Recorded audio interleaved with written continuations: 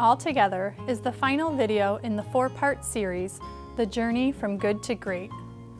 Throughout this video series, we took the time to slow down, step back, and ask ourselves some tough questions.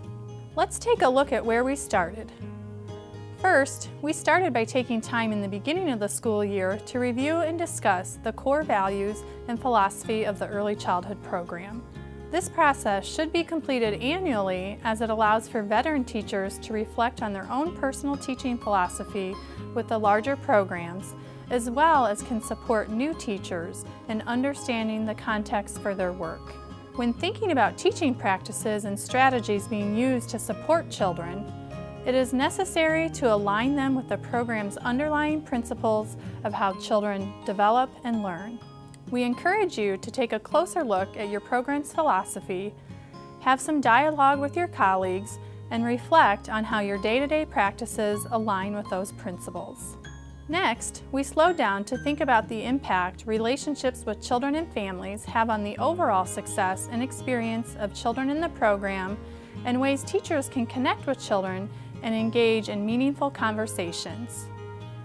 Research clearly shows the important role relationships play in the early childhood classroom. Quality early childhood teachers respect the role relationships have and understand putting time into building positive relationships must be embedded within the broader curriculum so that children are in the right state for learning. Once we established some of the foundational pieces that intertwine throughout our day-to-day -day work, we were ready to take a step back and think through the process of planning intentionally in order to take advantage of extended learning opportunities.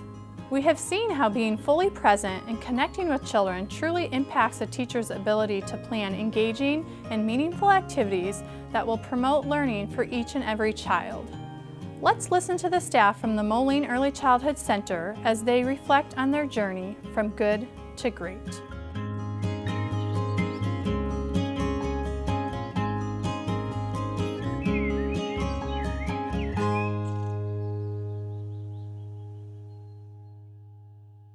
When I try to uh, quiet the static, I try to make sure that my room is organized with the activities that I've planned for the day. I don't want to have to go searching for something because then that will take me away from the children and what I'm and what they are doing.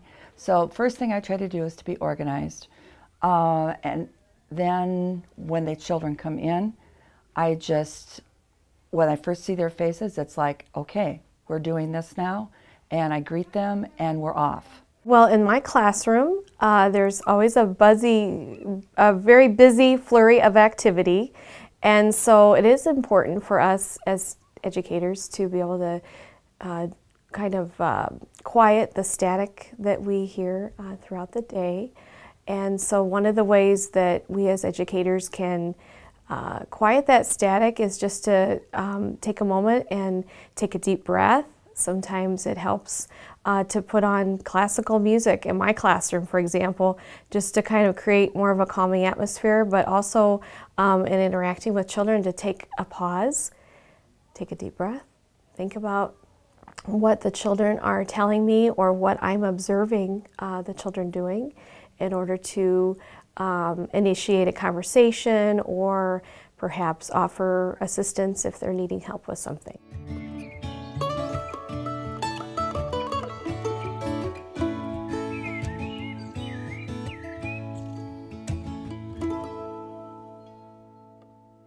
when make the connection with the children and everybody is present, you can see their faces kind of light up.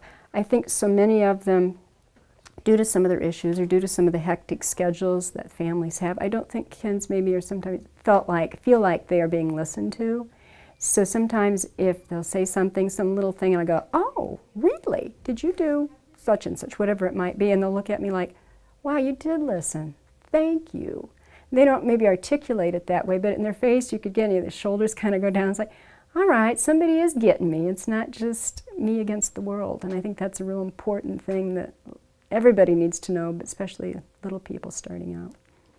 I've made the switch to connecting more instead of you know doling out the the consequence because it it works so much better the the child is is comfortable with me. They know that there's not going to be a consequence. They just need to they need to talk to me. They need to tell me how they're feeling, what the problem is, um, how we can work through the problem. Um, it, just it it it's so much less stressful on me, on the child, if we can just talk and work through the problem together and make that connection and figure out a solution to the problem. Um, looking at personal connections uh, with children, I think it's so rewarding once we are in to the routines, we've established um, the rules in the in the classroom. We talk about how we you know treat one another, those kinds of things. Then then we're able to really look at each child as an individual, and I think that's so key to making the connection because every one of our uh, friends in our classroom has something to share. Each one is unique. Uh, each one has uh, a certain set of personality traits that really shine through when they, they feel comfortable in the classroom. And so it's just really rewarding to be able to connect with them and learn more about their personality, to learn uh, what are their interests, what, what are the things that they really enjoy that they can bring into the classroom and kind of enhance the learning for everyone. Well, I think to make the individual connection with each child, here again it goes back, I listen to them. I talk to them. They come in and, and they're making comments about something that they did at home or something that they really like. You engage in conversation with that. They pick up on and they start to feel, oh, they really care about me. And they, be, they trust, they begin to trust you. And you can build up a trust, you can build up a rapport. Uh, you're, if you're respectful with them, you know, you make eye contact with them. Um, you by talking with them that way. I think that really helps connect with them. If they say something to you and you're looking someplace else or you're you know you're not attending to them, they pretty well know to walk away from you and and they're not so ready to come up and talk to you after that. So I just think you need to take the time. You need to make eye contact. You need to be respectful of what they're saying. Uh, and I think all that helps connect with each child. One of my children is very interested in making books, and she just really gets involved in the process. And she uses letters and she creates shapes and just different kinds of materials in, in making books. Looking at that as a personal connection with, with myself, she and I have been able to plan for extended learning just because she has all these wonderful ideas for, oh, what if we use these materials? We could maybe uh, make another type of book. She, she suggested using a camera and take pictures in the classroom and then incorporate those photos into a book. And so just by making that personal connection with her based on her interest, individual interest, we've been able to extend the learning for everyone in the classroom.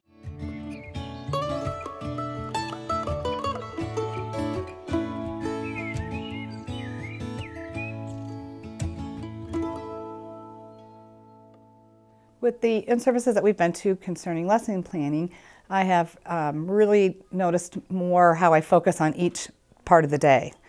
Um, and with having a blended classroom, how I can specifically make their goals within my day without being obvious to them. Um, that we can, I can get that in with every, it doesn't just have to be at a small group time, that you can slide in accounting if that's a goal that one of my students has. One of my plans for next year is to have the benchmarks up for the given various centers so my assistant knows what we're doing, so um, speech and language person, OTPTs, when they come in, so we all know what the goal is for the, each of the centers. I think that's very important. My background as special ed, I've had to learn, and StarNet's been fantastic with helping with that, learning how to set up rooms in a preschool fashion. So it's more preschool fashion with centers rather than in the special ed mode of delivery, which I did for a long time. Intentional teaching are things that I have planned activities for the children to do so they can develop their social skills, so they can develop their uh, their math skills, their literacy skills, their uh, language development. Those things are all rolled into what I what I what I plan for the children to do every day. Uh, things I think about when I'm when I sit down to make my plans. I think about uh, topics that might be current if we're depending on the time of the year if we're studying something outside if we right now we're studying caterpillars so and seeds and growing things we it might it'll have a lot to do with where we're going on field trips field experiences. We went to the botanical center. I have some boys that are very interested in buildings so i'm i some i try to bring in pictures of buildings. Um, we sit down and they write their plans so we're, we're talking about what architects do.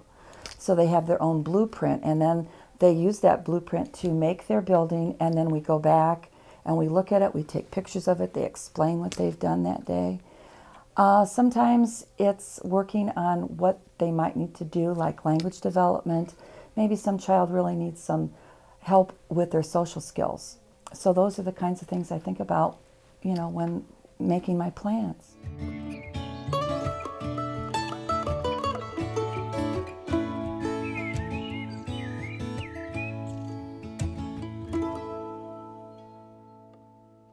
Well, looking at assessment of individual students, it really enhances my learning as a teacher. I am learning so much, so many things about the children when I'm observing them or when I'm um, talking with them. I am gaining so much information about what they know right now. And that is so important to know what, what level are they at right now? And how can I meet them halfway? How can I scaffold that learning to extend what their knowledge is? How can I uh, look at that information and extend it to teaching? Is an important piece. You know where the, what the child is doing. You know where what they're what they're doing right now, but you need to assess where that is in um, where, where, you, where you want to take that child. Are they at the very beginning of a skill or development? And where do you want them to move? And so then what do you need to do to get them to move that, that way? So that will play into what kinds of activities do I need to plan in order for that child to move towards that uh, area you want him to be in? I think that's uh, really a key component when we look at um, authentic assessment and once we've made that connection with a child, I think our assessment becomes that much more valid because we know these children, we understand their personality, we understand what their strengths are. And I think it's important for the children to understand this is my strength. This is something I can do already, or this is something I want to learn how to do. And once we recognize the combination of what my expectations are for them, as well as their own expectations for what they want to learn, and we're also uh, building on what they already know.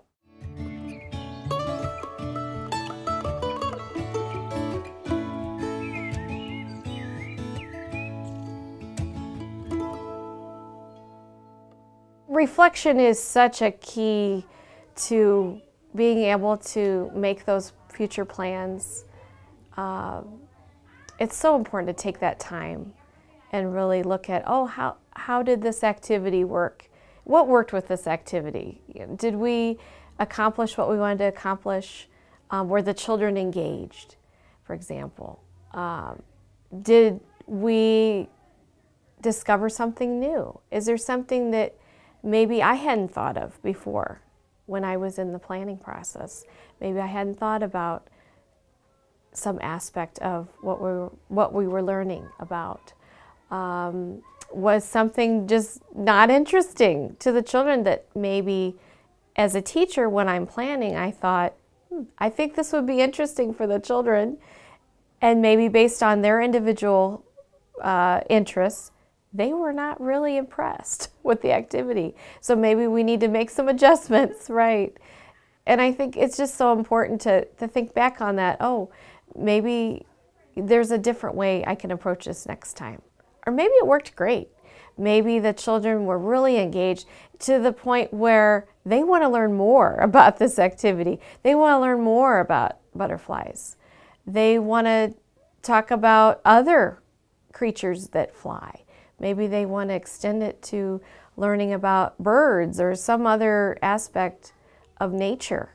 So uh, it's just really important to, to look back on things, see how it went, and, and figure out is, is there something we need to make changes or adjustments or, or maybe we want to continue and, and expand on it.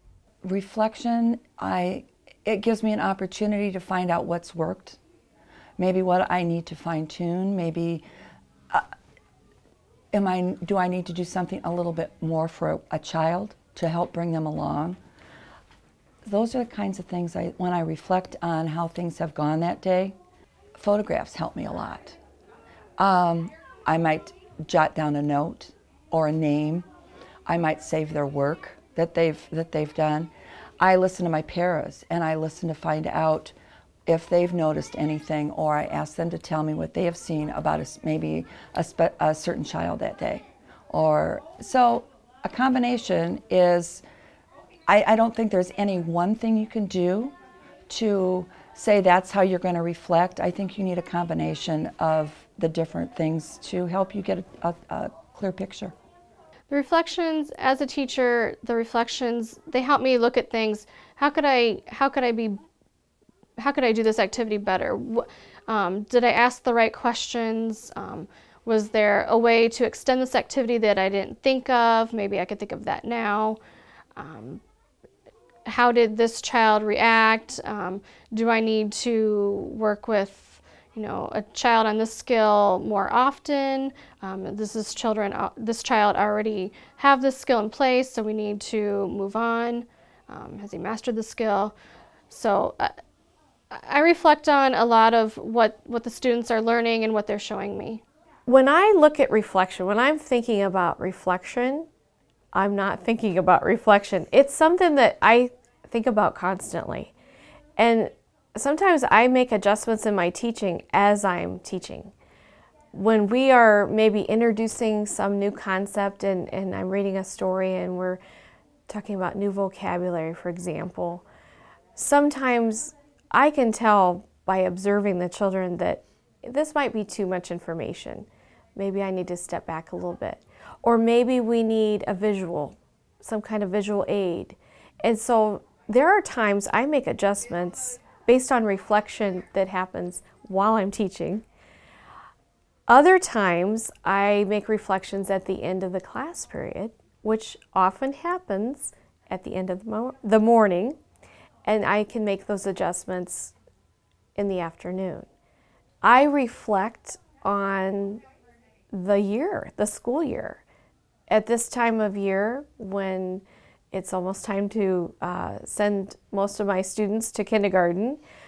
It's a really great opportunity for me to say, wow, look at the growth in these children. Look how much they have been able to use their personality and they've been able to express themselves. And look how they've been able to expand on their learning, for example.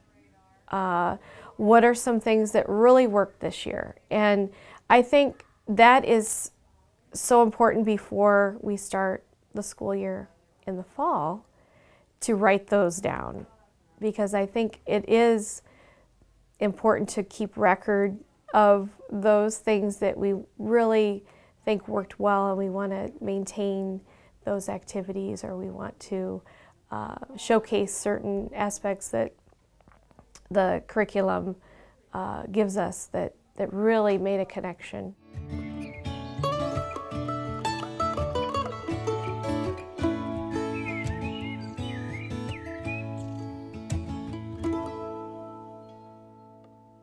A good piece of advice, I think, for a new teacher would be don't be afraid to try things.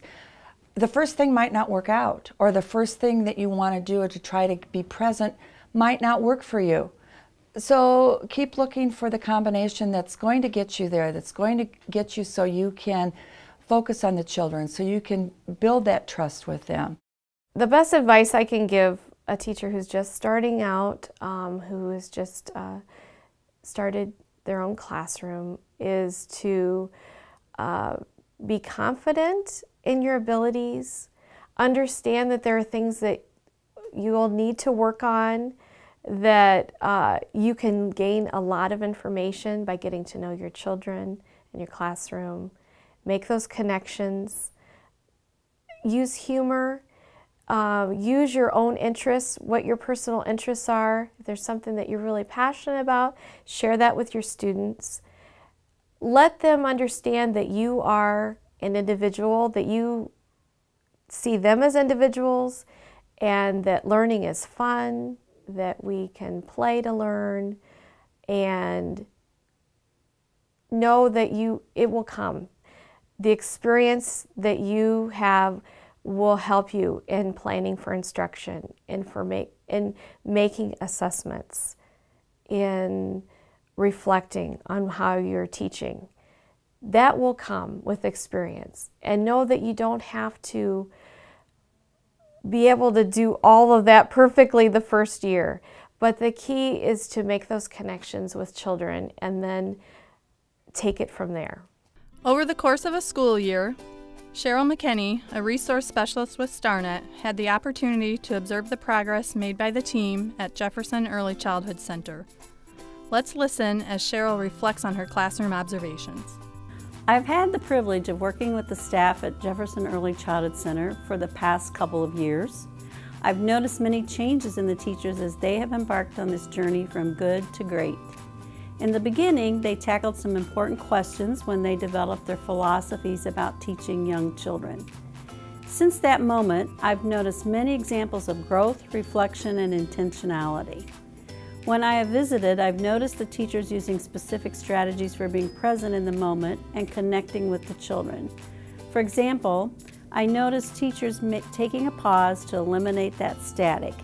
And I've noticed the teachers reflecting with their paraprofessional in their classroom about how to be more present. Their conversations with children are rich and involve more language and reasoning. Their conversations are about experiences a child may have had over the weekend or some special event in the child's life. One group of children had a lengthy conversation with their teacher about the movie Frozen. They talked about their favorite characters, but then over time that extended into how items become frozen.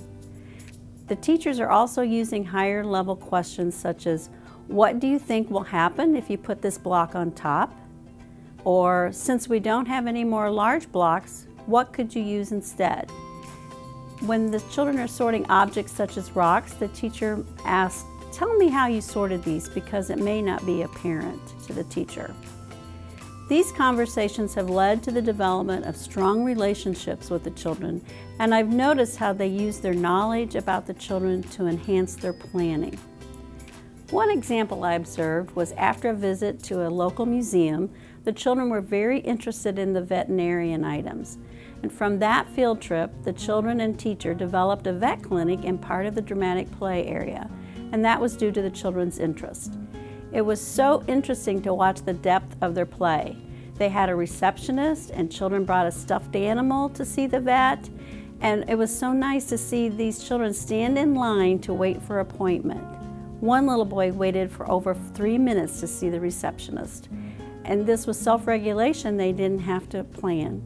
They had real x-rays and stethoscopes and some unusual pets such as a stuffed snake. One teacher noticed that the blocks were not being used very often. When some changes were made, the teacher saw more block building and more intricate structures. The teachers plan to make some small changes to have the blocks and accessories more visible and accessible made a significant impact. As I talk with teachers at Jefferson, I have observed how they are taking the time to pause and to really reflect on their own teaching practices. They are aware of the children's body language and their verbal responses. They have worked to improve their classroom environments. They have used a professional development day to work together to see how all the pieces between their curriculum, the Illinois Early Learning and Development Standards, and developmentally appropriate practices, along with professional development, fit together.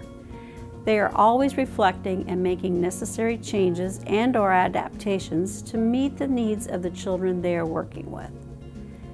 This group is committed to ongoing professional development and it's been exciting to watch them implement new ideas and strategies to promote success in their classrooms. The staff at Jefferson Early Childhood Center are very fortunate to have a principal with an early childhood background.